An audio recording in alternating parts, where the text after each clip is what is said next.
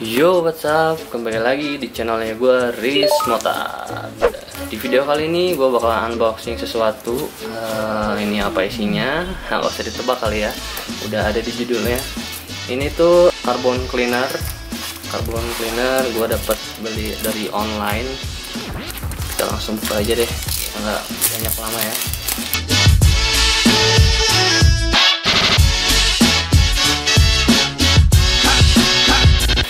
Nah, jadi ini dia dalamnya.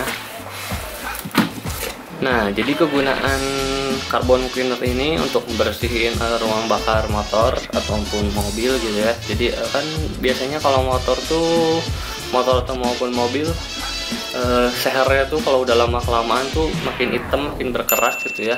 Itu yang disebut namain karbon. Nah, jadi ini ada solusinya Katanya efektif membersihkan ruang bakar dengan cepat, aman, pada tanpa bongkar mesin. Jadi nggak usah lu sibuk-sibuk bongkar mesin, bongkar head untuk membersihkan sehatnya gitu. Jadi lu tinggal semprot ini masukin ke lubang busi. Dan tunggu sampai 10 menit kalau udah gitu setelah 10 menit nunggu. Ntar cairan yang masuk ke dalam lubang busi tinggal disedot pakai ini. Sebenarnya sih pakai ada vakumnya gitu ya alatnya. Cuman ya mahal lah. Yang simpel-simpel aja nih pakai sedotan sentikan dan yang ini juga sama. Dan ini gue dapat bonus nih karburator cleaner dan ini tuh karburator cleaner buat e, ngebersihin karburator atau injeksi kali ya. Ini nggak tahu nih bisa buat injeksi nggak?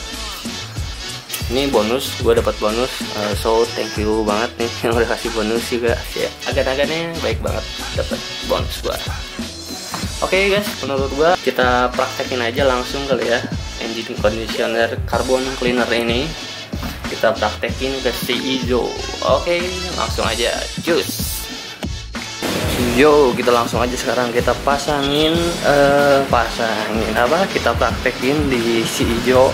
Dan yang pertama tuh kita harus buka dulu cover ini karena uh, businya ada di sini. Coba gelap sih.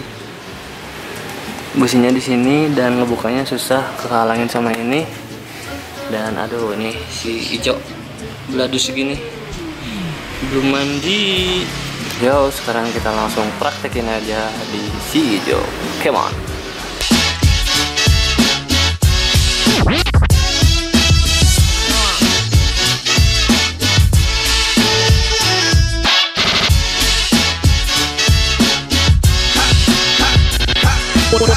Yo, busi udah terbuka, sekarang kita buka ini uh, carbon cleanernya.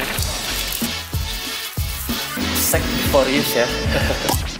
ini ada ininya apa? Sedotannya udah itu kita masukin sedotan ini ke dalam lubang busi. Kita semprot ini ke dalam. Sedotannya kurang panjang coba gua cari dulu sedotan yang ini agak panjang biar masuk lubang businya. Soalnya lubang businya ini tuh di dalam banget. Ini gua udah nemu ini agak panjang. Mudah-mudahan masuk sih kita coba ya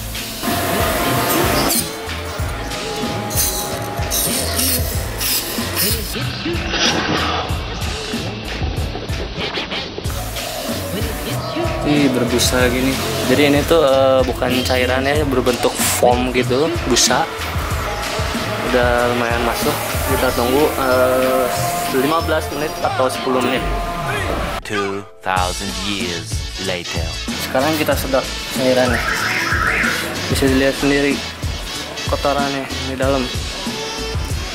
Wih banyak kan nih kotorannya kita buang. Terus sedot lagi.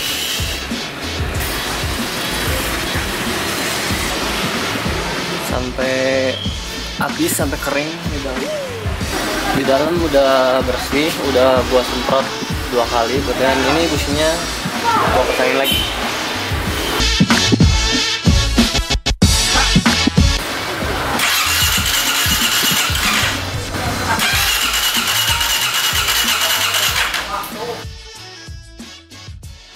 sekarang kita coba starter.